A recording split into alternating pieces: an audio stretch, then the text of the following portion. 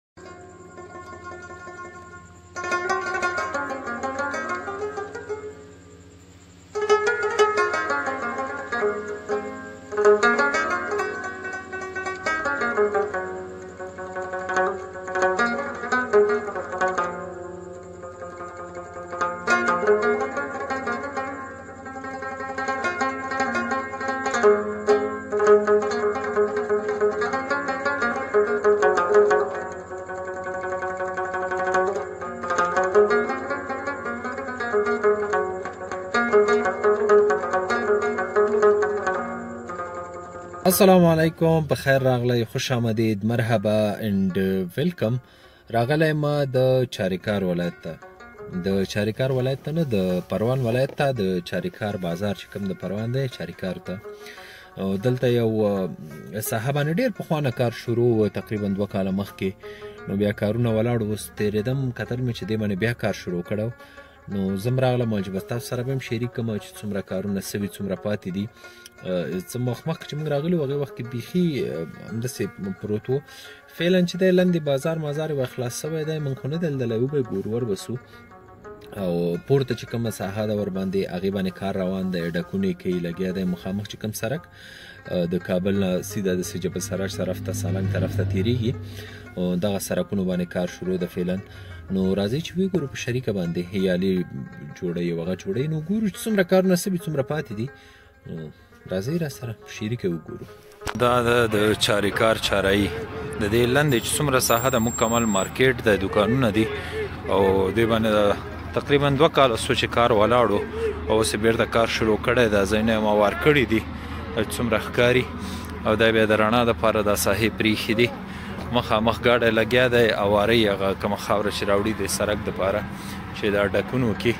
هغه لګیا دی په بغل کې ویالې د پاره کسان لګیا دي د جمعې ورځ هم د بیا هم کار خټه روان دی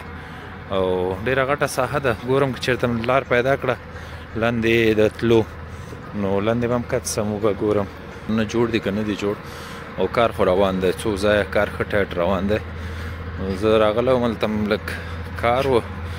زم ول د ملازه چې د امدابادي یو برخه ده تاسو سره شریک کوم د چاري کار ول بازار دی او د پروان ولایت دا ویاله ده مکمل دا ساحه دا لاندې مارکیټ چې کوم دی د هغې لارې دي لارې خو پورته نه دي خو دلته چې لکه راجګېږي دلته به هم کېدای شي یو منزل جوړېږي دا پورته ساحه کې ځکه چې هلته ځینې ورته راخیزه ولیدي او دا بالکل د چارۍ په منځ کې دا ساحه ده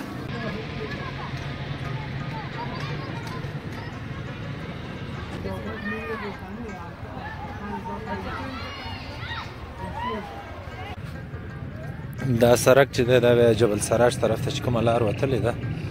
د هغه طرف لاره ده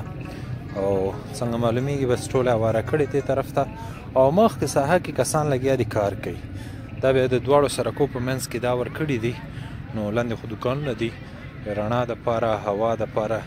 اګه چې مکمل بند دي بیا هم نکیږي نو دا منځونه خلاص ورته پریخي دي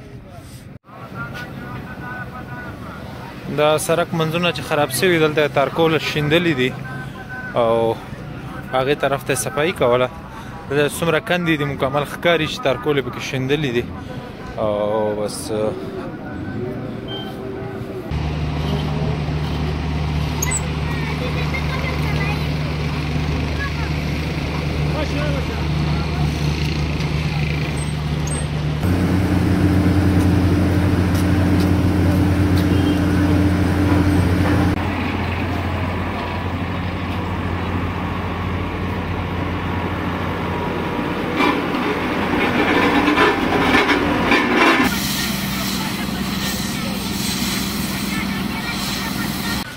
دا مخامخ چې کوم سپین رنګ غوندې چې په لږ غوندې دی دا د کته کېدو لار ده یوه یې دې طرف ته ده یو بیا هغه خوا ته ده شپږ لارې دي مطلب درې هغې طرف ته او درې درې طرف ته د کته کېدو دپاره لار دا مخامخ منځ کې چې ښکاري دا بس چوک دی همدې ځای کې یوه لار دې خوا تللې ده یوه خوا تللې یوه سیده کابل طرف ته او یو دې خوا جبل سراج طرف ته نو ډېره غټه ساحه ده چې څومره دوکانونه وایي پکې لګیا دي یالو دپاره سیمټ راوړي یالو بغلو کې سیمټ اچوي او یوه لاره بیا دغه د کته کېدو مخامخ سپین دیوال چې ښکاري مطلب شپږ لارې د کته کېدو دپاره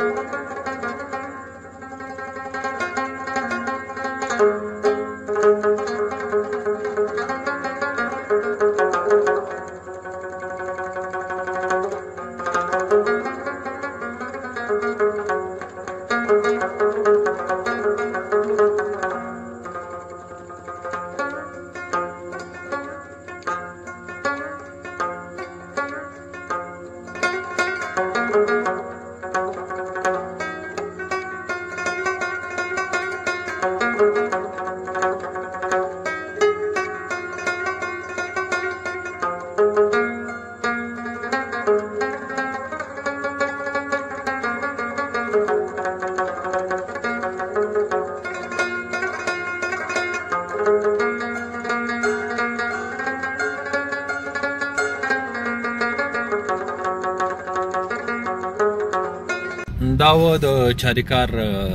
چارایي باندې چې څومره کارونه سوي و څومره کار پاتې و لګیا و کار یې کاوه هغه مو لیدل او بس زم زمه بیرته کابل په طرف چې موسم هم لږ خړ پړ دی او ځان به بیرته رسو ان شاء الله نو دغه څه قصې دي امید لرم چې ویډیو مو خوښه سوي وي